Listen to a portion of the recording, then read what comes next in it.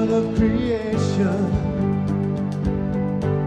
this world has been crying out for hope, for a hero to save us. We long for the supernatural. There's only one God who can save the day. So clear the stage, prepare the way, it's heaven and earth are singing, glory, hallelujah let the whole.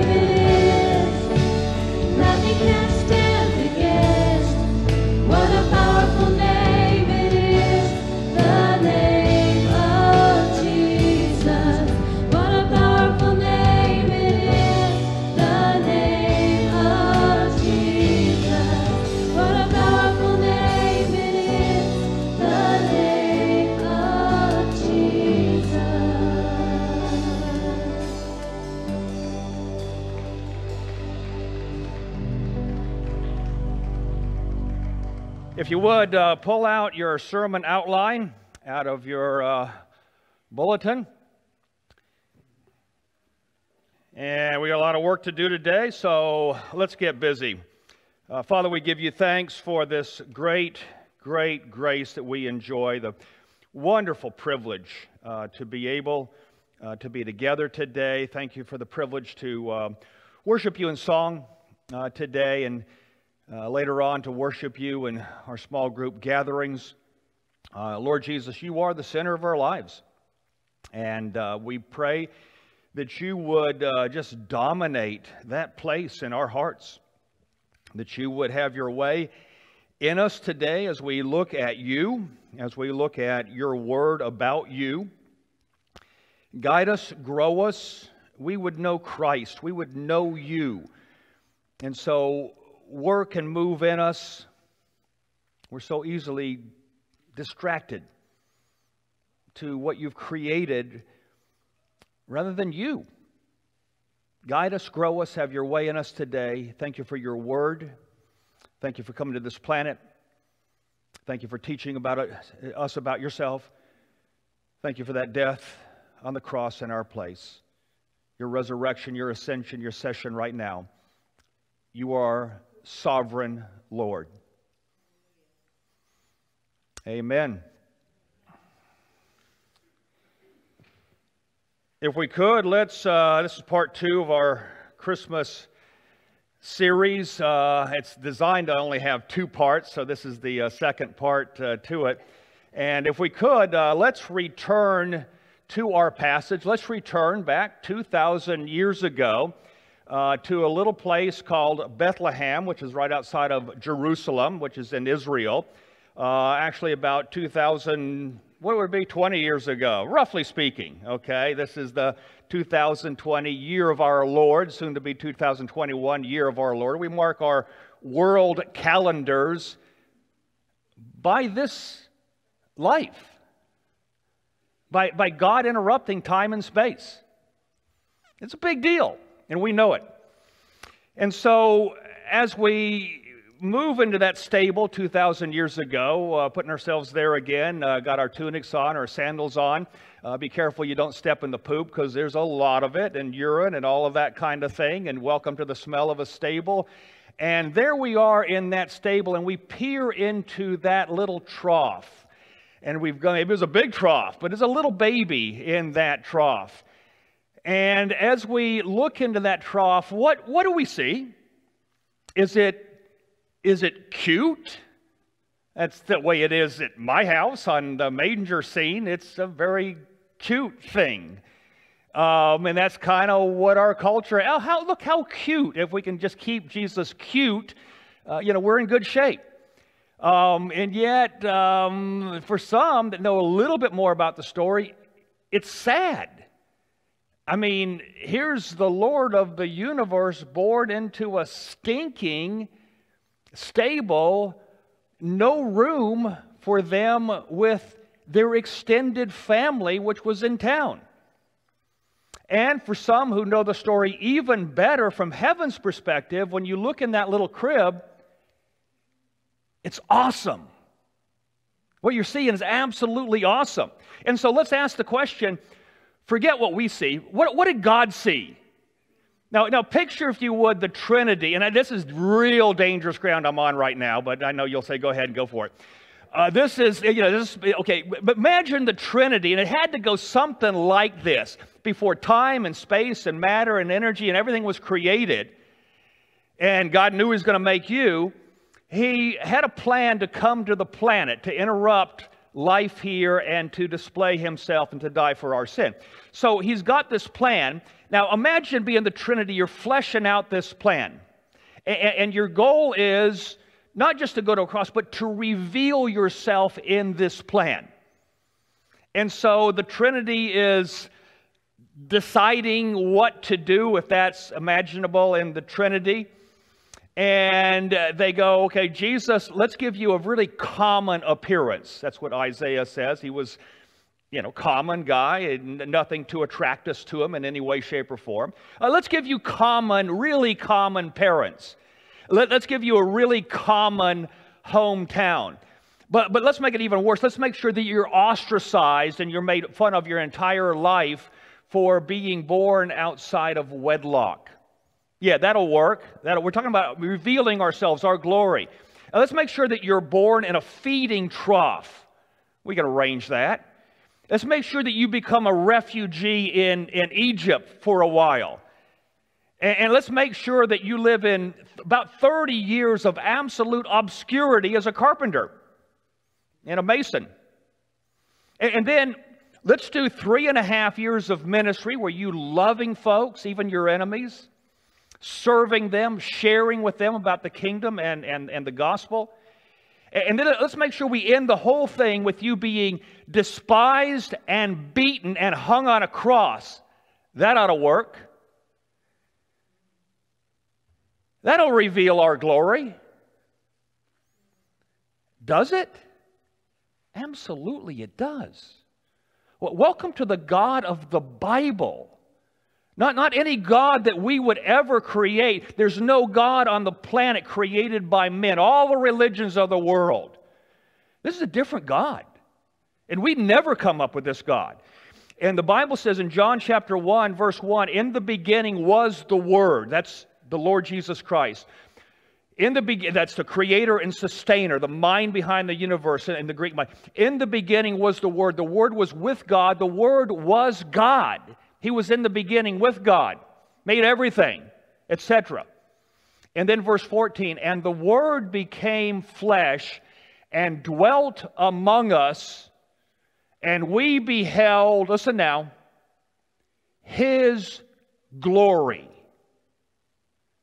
we learned last week that's his awesomeness, his awesome character. We beheld, John saying with the other guys, we beheld the awesome character of God in the face of Christ. You know, the awesomeness of God. Look at Christ. And so that's what heaven's plan was. What did the angels see? That's our key passage that we're working out of. Luke chapter 2 and verse 8 and following. Same region of Bethlehem where Jesus was born, some shepherds out in the field. They're watching their sheep. Angel comes before them. The glory of the Lord, our theme shown around them. They were scared to death. The angel probably radiated the glory of God, having been in God's presence, and the, the glory was shining around them. They had no place to go. Angel says, Don't be afraid. I bring you good news, Noel, of a great joy for everybody. For in the city that's been born for you, for you, you shepherds and everybody else, a Savior, one who's going to pay the penalty of your sin. They didn't get that at this time, but God did. The angels did. Who is Christ the Lord. This will be a sign for you. You'll find a baby wrapped in cloths and, and laying in a feeding trough. And then all of heaven overflows with the joy that is in heaven that comes from the character of God. We have a joyous God that brings joy into our lives and, and rejoices in bringing joy into our lives. And so the angels fill with joy because that's heaven, because that's our God just overflows, and all of a sudden the angels actually have themselves appear. God makes them appear. It's a multitude praising God and saying. So they're just singing, they're praising the, the, the boy, the, the voices. Can you imagine? God's blessed us with some great voices, but can you imagine? And they're singing this. I think at the top of their lungs with incredible ecstatic joy it's not a few angels up in the sky like the cartoon. This, this is the sky is filled with a multitude of them. They're praising God and saying, Glory to God. What did the angels see? They saw the glory of God in that little baby. And they knew where that life was going to go to some degree or another. They knew where that life was going to go. Glory to God in the highest, and on earth, peace among men with whom he is pleased. More on that last phrase uh, momentarily. So, what is the glory of God? What do those angels see? What did God want to reveal to us? The glory of God, in, in, in, in simplest words I know how to, how to put it, is His perfect, radiating, awesomeness. Don't always have to have the word radiating. They're just typical. There's a kind of a radiating of this awesomeness when the glory of God appears in the Bible, Old Testament, New Testament alike. But it's this perfect awesomeness. That's the root. Okay? Uh, it's the awesome nature, the awesome person, the awesome character of God. That's his glory. And it's a it's not just awesome, it's a perfect awesomeness. He's perfect in every category, in every virtue. All right? So the glory of God is his perfect awesomeness, typically shown as radiating. All right? And how do we glorify God? By adoring him for his perfect awesomeness and honoring him in thought, in word, and in deed. That's how to glorify God. All right? So let's, uh, let's um, get into our outline now. Um, Revelation of Christmas is God's perfect awesomeness. And so we looked last week at in that baby, in Christmas, was the faithfulness of God. That all the prophecies, starting way back with Adam, that Jesus fulfilled every prophecy, showing the, the, the trustworthiness, the faithfulness of God. Number two, his power. Satan could not kill that little baby and nothing's impossible with God, as the angel shared with, with Mary. And God dominated sin and death and brought it to an end through that little baby and the person he would grow up to become. And then, number three, the justice of God is revealed in that baby is the righteousness of God, that God might be just or righteous and the justifier of the one who has faith in Christ. God is just. He'll never let one sin go unpunished. God is the justifier. He took the punishment of our sin. Just and the justifier. So the righteousness of God is seen, or the justice of God is seen in that baby. And then, number four, where we pick it up today, in that baby, as we look in that manger, who or what do we see? We see the awesomeness of God, but the awesomeness of God specifically in His wrath. Does anybody see when you look at your manger scene at home? Does anybody, as you, as you look at that, do you see the wrath of God there? You need to. You absolutely need to.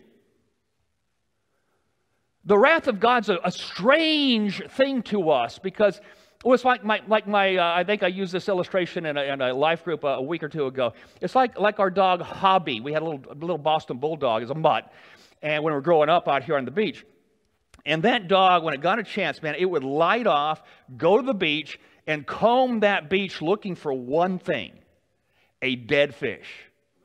When it found a dead, rotting, stinking, the stinkier the better, it would dig its shoulder into that dead fish, try to rub that dead fish all over its body.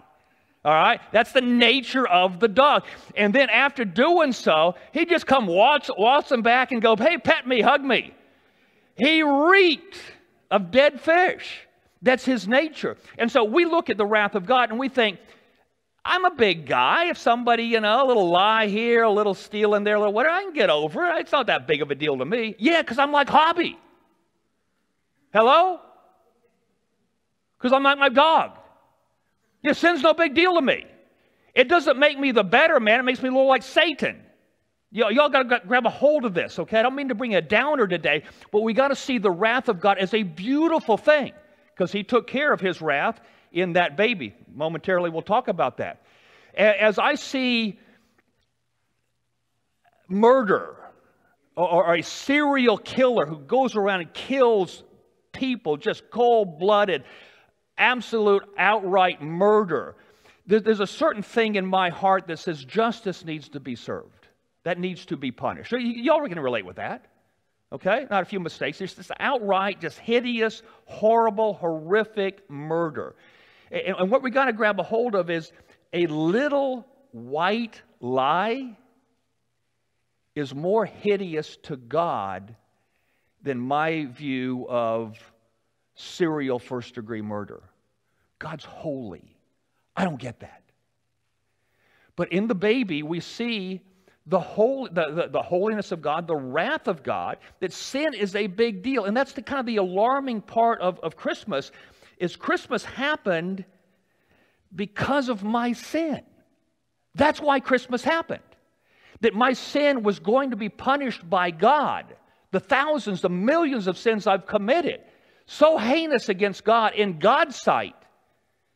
And so that was that sin is such a massive deal to God that he came here personally to pay the price and to bear my wrath on his own body. That I would never get one drop of the wrath of God.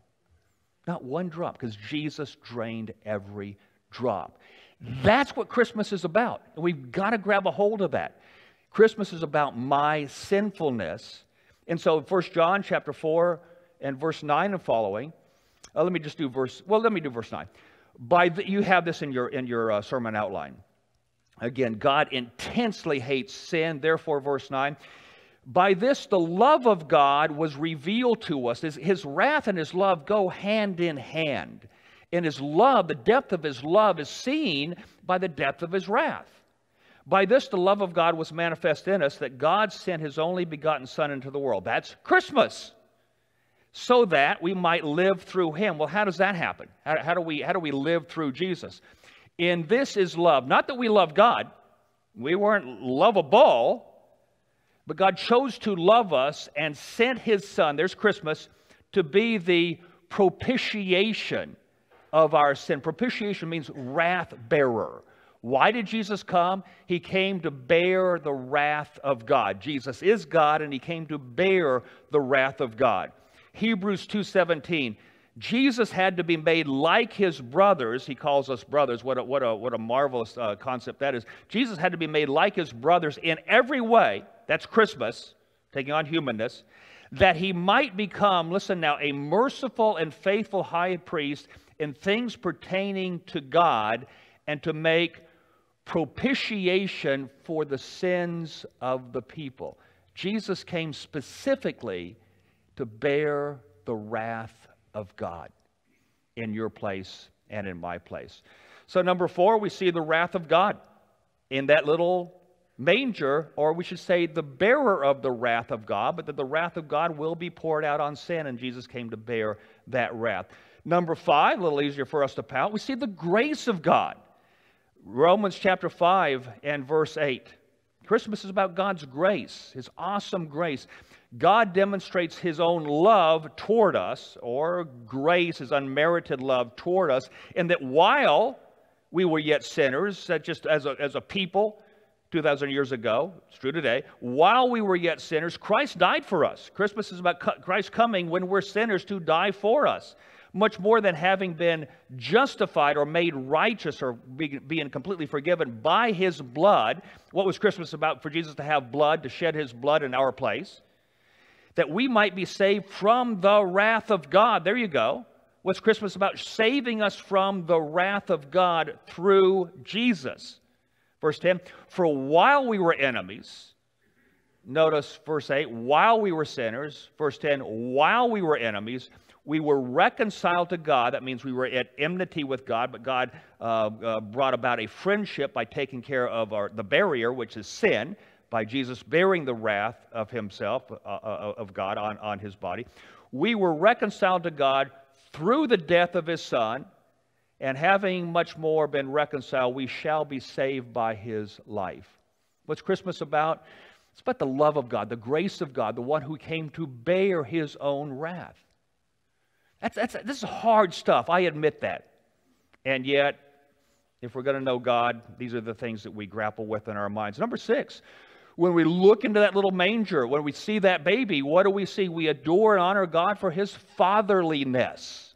That reveals the fatherhood of God. Uh, so far, we've kind of talked about uh, the, the justice God, and that God's, God's a judge, but he's a merciful, gracious judge.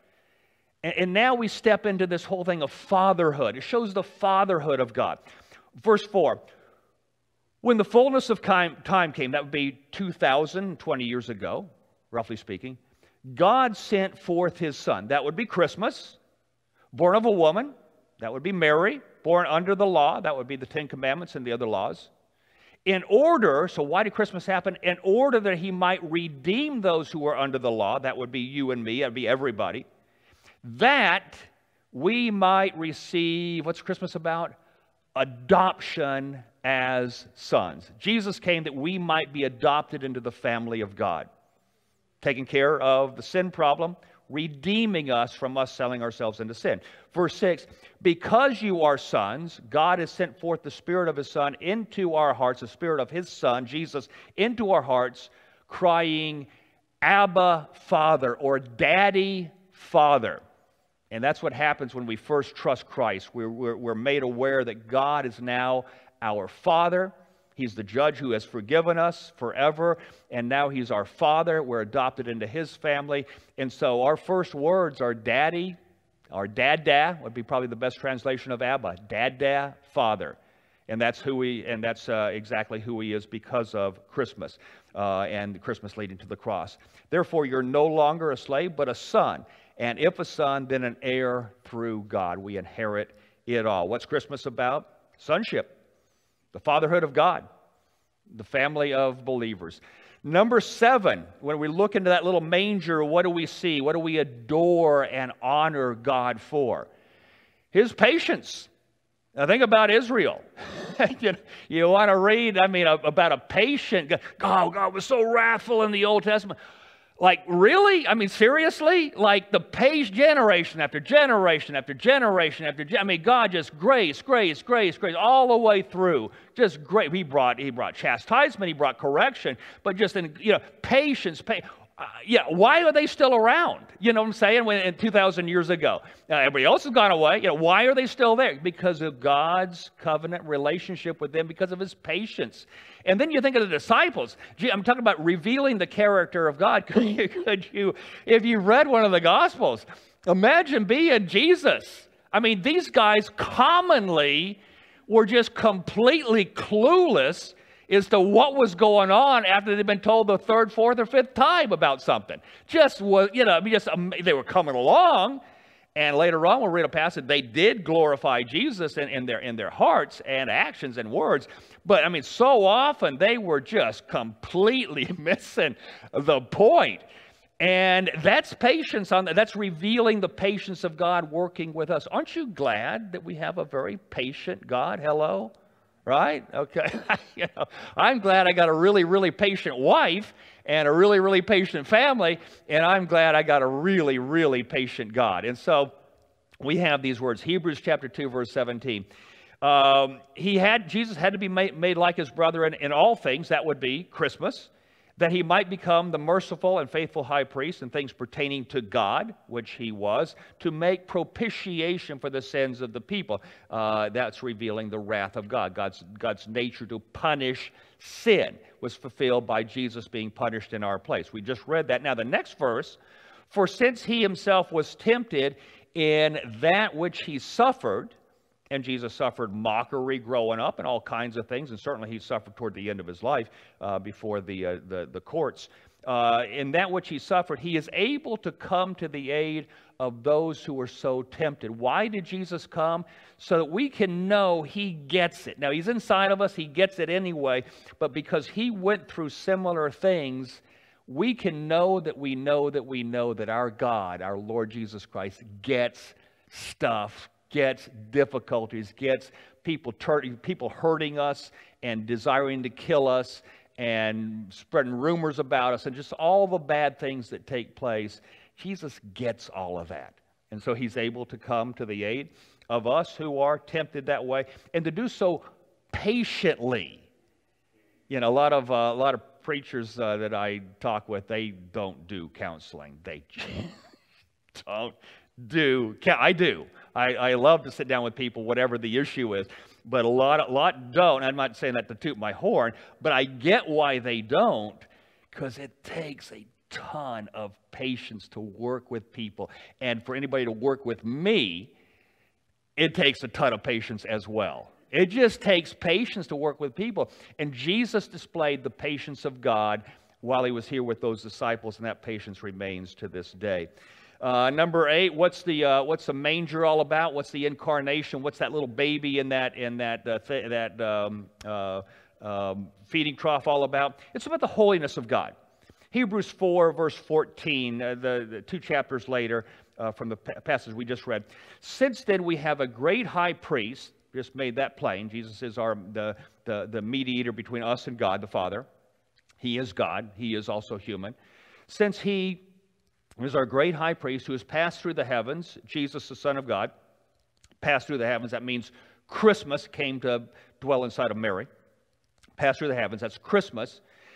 Because that's the, that's, that's the case, we have that kind of high priest. Let us hold fast our confession or a holding on to him. We don't have a high priest who cannot sympathize with our weaknesses. Uh, I can turn that around and say, we have a high priest who can sympathize with our weaknesses. He does get it. We have one who has been tempted in all the ways that we're tempted, but he never sinned.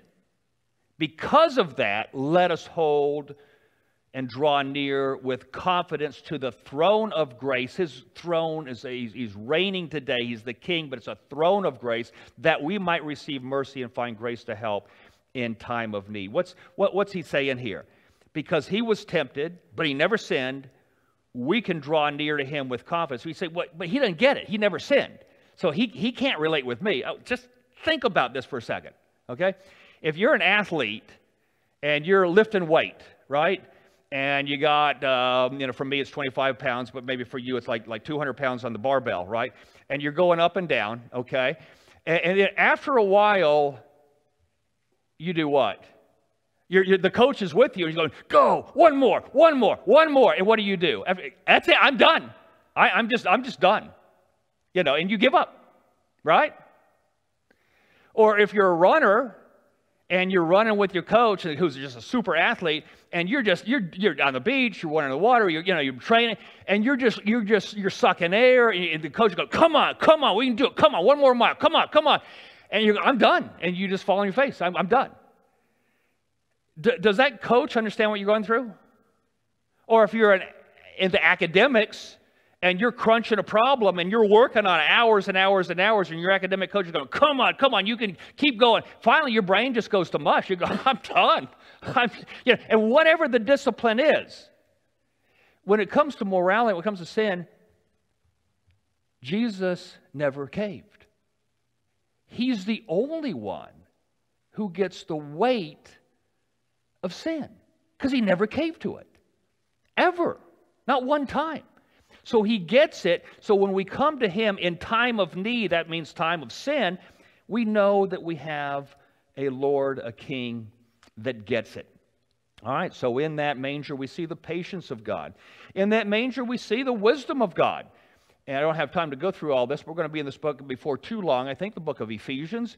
And Jesus came, verse 10 of Ephesians chapter 3, that the manifold wisdom of God might be made known through the church to the angelic beings that are watching. This was in accordance with his eternal purpose, way back before he made time and space, which he carried out in Christ Jesus our Lord. What's Christmas about? Revealing the manifold, the multifaceted wisdom of God. What, what do we mean by that? The, the, the, the wisdom of God. What's this passage about? Without reading the whole thing, and I would encourage you to read that on your own. Um, it's about God making everyone one in Christ. The Christ is the center. He's our great identity. You might be a jock, the person next to you or the aisle over might be a geek and a whatever, whatever. Uh, you might be black, they're, they're white, the green person's in front of you and a blue person's behind you. You can be one in Christ by, if Jesus is your greatest identity, not that you're female, not that you're male, not that you're gray, not that you're, that you're yellow. Those didn't come out good, but you know what I'm saying, okay? Um, it, it, it, the, your great identity is Christ. If you're united to Christ, I'm united to Christ, therein is the wisdom of God that we be made one. Much more on that, not in this sermon, but later on. Uh, in that manger, we see the humility of God. We honor and adore God for his humility, which is not another thing that we kind of, when we think of God, we, maybe we don't think of humility. Uh, Mark chapter 10, verse 45. The Son of Man, Jesus is speaking about himself, called himself the Son of Man. He's the Son of God, he's the Son of Man. He's divine, he's human. The Son of Man, referring to himself, didn't come to be served. Just grab, grab a hold of that. Jesus is going, I didn't come to the planet to be served. I don't exist today to be served. I didn't come to be served. I came to serve and to give my life a ransom for many. I didn't come to be served, I came to serve. That's the heart of God. He's revealing the glorious nature of God, the humility of God. Humility is not putting ourselves down. God does not put himself down. Humility is putting others by choice above ourselves. We're called to have his mind, to have that kind of humility. That's tough stuff. Philippians chapter 2 verse 5 have this mindset in you which was in Christ he existed in the very form God he was equal with God but he emptied himself taking the form of a servant and humbled himself all the way to the ultimate servanthood, which is the point of death on the cross. And so we see the humility of God on that little baby's face in that, in that manger. Uh, and God, again, you look at the whole way God did that, back to our opening conversation, that's the humility of God on display. Number 11, we see the joy of God. Again, we have a joyous God, and we got to grab a hold of that. I, there's too many wonderful theologians that just they got everything down, but they have there's nothing in their commentaries on the joy of God, and that's just baffling to me. It's just like what? How, like how does that work? God is a joyous God. And it, we talked about his wrath. We talked about his we haven't talked about it, but we, in the past we talked about his. You know, Jesus was a man of sorrows and acquainted with grief. He hurt uh, for for God being blasphemed. He hurt what's for for people what sin does to people. And it's painful. He mourned over that. At the same time, he was joyous, and so is heaven that way today. Uh, the angel said, Luke chapter two, "I bring you good news of great joy." Uh, God, God's going, "I'm bringing you great joy." A Savior's been born for you. And then the angels came and they all manifested themselves and they were saying, What? Glory to God in the highest. And they were not saying that in some, some they weren't mumbling that. That was a joyous sound. All of heaven, can you imagine the thundering uh, voices of all those angels together? Glory to God in the highest. Tremendous joy. And Jesus said, John chapter 15, looking at the person of Jesus as, as, uh, as John and the disciples would, John 15 is happening right before he's going to be arrested that night and die on a cross the next day. He knows that. He's been telling them that. And with that, the weight of that on his shoulders, he says these words to them hours before the cross. These things I have spoken to you, I've been teaching you that my joy might be in you. Can you imagine that? He's going to a cross, and mixed with the pain of anticipation of bearing the wrath of God in our place, there's still joy. It, so, so we're multifaceted creatures made in the image of God. We can have great pain and, and sorrow and great joy at the same time. And so does God. God is, a, God is in great pain right now. He's made himself vulnerable by choosing to love us. And he's got great joy, and heaven's a place of great joy. And, we got to hold those in balance and go, both are fine and good and right in, in, in your godly life. I want my joy to be in you when you're facing, you know, certain death and an agonizing death. I want you to know my joy, is what he's saying here.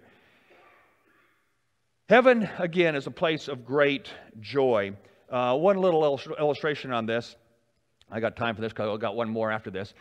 Um, I think uh, there's a, a, bunch of places I want to go in my mind, but um, First Chronicles, where you've recently been, not Corinthians, Chronicles, First Chronicles, uh, back in the Old Testament, um, we got this going on. In chapter 13, uh, David has been made king right before that in Chronicles, and he's wanting to take the, this, this ark, this box kind of thing, where the Ten Commandments are and a few other things. Um, re, you know, the, the, basically, um, uh, um, you know, it's the law of God and he's wanting to move that to Jerusalem, uh, the capital city.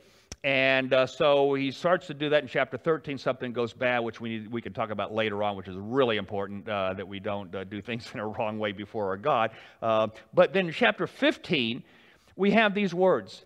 They got together again and continued to move this ark and he appointed singers that's david and the people helping him this is verse 16 of first chronicles 15 singers with instruments of music including stringed instruments loud sounding cymbals. That common word, that, that word loud is commonly attached to loud sounding cymbals. Uh, to raise, so you got you got these stringed instruments and loud sounding cymbals. Why so loud? To raise sounds of joy. Thus all Israel brought up the ark of the covenant of the Lord with shouting. So they are they are singing. There's loud uh, uh, uh, instruments going. They're shouting shouts of joy as they travel with the law of God toward Jerusalem. And it also says in verse 28 they had horns and trumpets, more loud sounding cymbals, and more stringed instruments.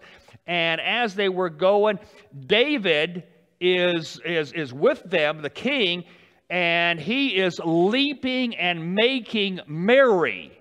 He, the guy's just having a blast, just joyously, listen now, glorifying God. Loudly, with dancing, horns, cymbals, all.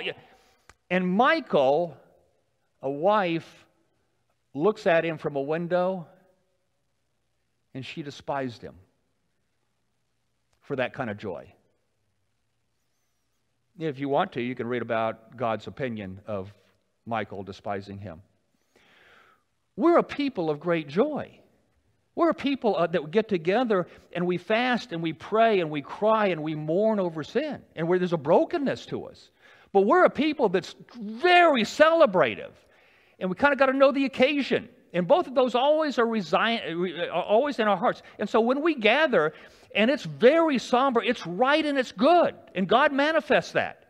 But when we gather and there's loud sounding cymbals and all the rest, and we're shouting with shouts of joy, don't despise that. That's glorifying God. You know, we're all of that because God is, our God is, and He revealed that uh, in that manger. Uh, number 12, peace. God came to bring us peace, and He is a God of peace. Jesus said this right before going to the cross in chapter 14 of John, verse 27 Peace I leave with you, my peace I give to you. Not as the world gives, you know, which is just contingent on how things are going. Don't let your heart be troubled, don't let it be fearful. I'm giving you my peace by way of my teaching as you take it in and practice it, you'll experience my peace. He's going to a cross, and he's at peace about going to a cross. And, and all the way through, he never freaks out. Soldiers come, he goes to the garden, the guys are sleeping, whatever. He's always, oh, just always in charge. Soldiers come, they, he allows himself to be arrested, taken, brutalized, and, and, and, and eventually hung on a cross. And the entire time, never freaking out never uttering threats. A total peace. Why? Maybe because even though he was in a, he was in a, a, an emptied state, so to speak, of certain divine prerogatives, and we don't get all of that, but to some degree or another, he gave that back to the Father and just tried. Maybe it's because he had a God that he trusted. Maybe that was the reason for his peace. And so when the Lord says, "Peace I give you," and in, in our um, in our passage in in, in Luke Glory to God in the highest, and on earth, peace among men with whom he is pleased. How do we please God? By trusting Christ as, as, our, as our Savior. What does that peace look like? And we're going to close with this, uh, with this thought. In John 17, we have uh, Jesus' uh, prayer right before going to the garden to be arrested and then uh, hung on a cross. And evidently, he, he's communicating with God out loud so John and others can hear uh, what he's saying. And so he's saying for their encouragement, but he's, he's letting them in on the conversation with the Father. And he begins uh, chapter 17, the whole thing's a prayer, begins 17 with, with asking God to glorify him in what's upcoming and for him to be able to glorify God in what's upcoming. Can God be glorified by the b- b- brutality and death on a cross? Yeah. It reveals everything we just got done talking about. The glory of God is seen on the cross. And if I had time, we could certainly go into that item by item, uh, just like in the manger. And so it's a prayer about the glory of God being manifest. And then he says in verse 10 that the disciples, as, as clueless as they were many of the time, much of the time, they've glorified me uh, as they've received some of it and adored me and honored me. And then he gives these, these words chapter 17, the end, toward the end of this, this time of prayer, he, he says this, verse 20 I, I, I don't ask what I'm fixing to ask in behalf of these disciples alone, but for all who would believe in me through their word. That would be you and me. Verse 20. Uh, uh, verse 21.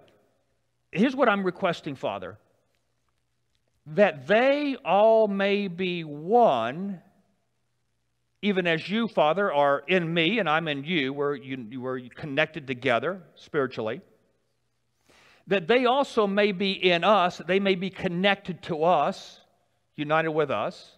I want them to be one. I want them to be united to us, and that is their oneness. And I want the world to believe through their oneness. Next verse. And the glory, now, now pay, pay close attention to this. Again, we're bringing, we're, we've got three minutes left. And the glory which you have given to me, I have given to them. Does anybody get that? Ever read that and you just go, ah, this blows my mind. The glory that I have, I've given to them. I've given them my glory. Like, what's he talking about? The reason he's doing it, that they might be one. So I want them to be one. I want them to be in us. I want them to be one, just as we are one. As the Trinity is one, I want them to be one. So I'm giving them my glory. Indeed, verse 23 we're united with them that they might be perfected in unity. And then the world sees that and believes. So he's saying, I'm giving them my glory that they may all be one. Boy, it's a horrendous thing for us to let any two, any two believers get out of sorts. Never let it happen. Never let it happen. Never let it happen.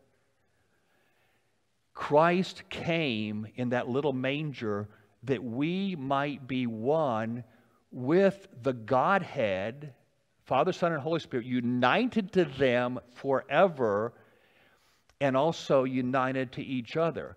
And the marvelous, awesome character of God comes to live inside of us. And when that happens, how can we not pursue unity and do whatever it takes to be tight with one another? How is that possible? And so, as we behold 2 Corinthians chapter 3 verse 18, as we behold the glory of the Lord, and I just give this a homework assignment 2 Corinthians chapter 3, verse 18 through chapter 4. As we behold the glory of the Lord, we are being transformed into the same image from glory to glory. There's a lot of stuff I said today. It's kind of smoke in my mind. Okay, if your brain hurts, I, I got it. This is recorded. You can go back over it and, pick it apart and let me know, okay? Um, um, but, you know, we're being transformed from glory to glory as we behold the glory of the Lord. And then verse 6 of chapter 4, and I wish I had time to do all this in context, but this is the last verse. The one who said, Light will shine out of darkness is the one who has shown in our hearts to give us the light of the knowledge of the glory of God in the face of Christ. As we behold the face of Christ in that manger and on that cross and everything in between, we see the glory of God. We behold these, and I've only mentioned 12 attributes. There's many, many others, but I figure 12 days of Christmas, 12 attributes, you know. So I, I chose some of my favorites, all right? Let's pray together. Lord Jesus, thank you so much for your grace to us. Thank you for this marvelous, marvelous privilege we have to be together today. And uh, we pray, uh, Father, that you would grow us in the knowledge of the glory of Christ. As we see his face, we see the glory of God, one and the same, the glory of the Holy Spirit, the glory of the Father. You're awesome, You're perfect, awesome character in every way, you're perfect. And all that's bundled up in that little manger 2,000 years ago. And all of that was manifested during the life and ministry and death and resurrection of Christ, and ascension. Lord Jesus, we adore you and we want to live lives that honor you And thank you for your grace, your presence, your, your, your, your patience every step of the way. And guide us in your purpose to unify with one another, what, what, just whatever it takes, and to be a witness to this world as we do, to open our mouths and to share the glory of Christ with others, this glorious gospel. Thank you for grace today. In Jesus' name, amen. If you've not trusted Christ, we beg you to do that. This area will be open. I'm going to grab a mask in just a moment. You don't need to have one on. I'm going to grab one. Uh, God bless each one of you. God make you a blessing.